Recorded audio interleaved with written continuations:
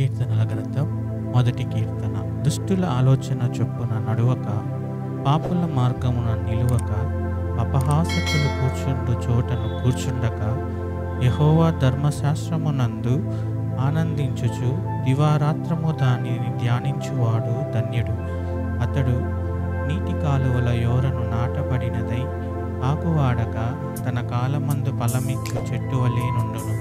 అతడు చేయునదంతయు దుష్టులు అలాగునుండక గాలికి చెదరగొట్టు కొట్టువలి నుందరు కాబట్టి న్యాయ విమర్శలో దుష్టులను నీతిమంతుల సభలో పాపులను నిలువరు. నీతిమంతుల మార్గము యహోవాకు తెలియను. దుష్టుల మార్గము నాశనమునకు నడుపును.